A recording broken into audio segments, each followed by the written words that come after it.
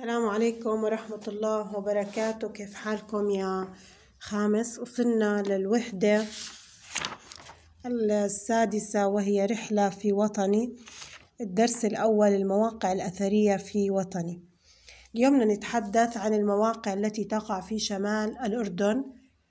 آه، أول منطقة أو أول مكان هي عمان عاصمة المملكة الأردنية الهاشمية.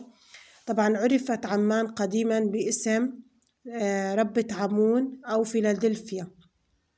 إذا عمان كانت تسمى قديما ربة عمون أو فيلادلفيا. آه، من المواقع الأثرية الموجودة في عمان المدرج الروماني في عمان المدرج الروماني وجبل القلعة وأيضا سبيل الحريات. هي من المواقع الأثرية الموجودة في عمان وهي تقع في آه، شمال وسط الأردن. بالنسبة لجرش آه، أيضا تقع في شمال الأردن وهي أصغر محافظات الأردن. طبعا جرش آه، تقع على بعد 48 كيلو متر من عمان شمال عمان.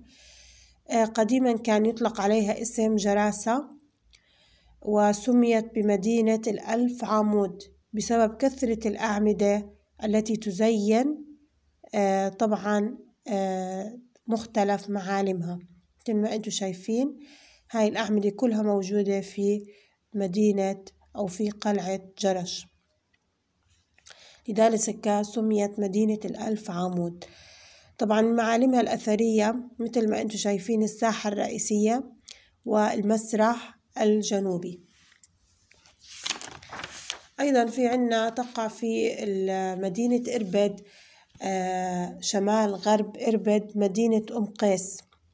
هذه المدينة تطل على نهر اليرموك وبحيرة طبرية ومن المعالم الأثرية الموجودة فيها المدرج والحمامات الرومانية وبالإضافة إلى وجود متحف في هذه المدينة.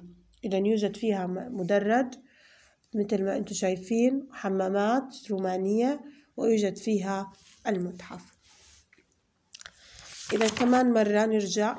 أولا نعرف عمان هي عاصمة المملكة الأردنية الهاشمية. ما هو الاسم القديم لعمان؟ ربة عمون أو فيلادلفيا. ما هي المواقع الأثرية الموجودة في عمان؟ ما هي المواقع الأثرية الموجودة في عمان؟ المدرج الروماني اثنين جبل القلعة ثلاثة سبيل الحوريات المدينة الثانية هي جرش. ما هو الاسم القديم لجرس لجرش جراسة. فسر سبب آه، أو عفوا فسر آه، تسمية جرش مدينة الألف عمود. فسر تسمية جرش مدينة الألف عمود بسبب كثرة الأعمدة التي تزين مختلف معالمها. ما هي المعالم الأثرية في جرش؟ واحد الساحة الرئيسة. اثنين المسرح الجنوبي. الآن أم قيس آه، أين تقع أم قيس؟ أين تقع أم قيس؟ شمال غرب محافظة إربد ما هي المعالم الأثرية لأم قيس؟ واحد المدرج. اثنين الحمامات الرومانية. ثلاثة المتحف.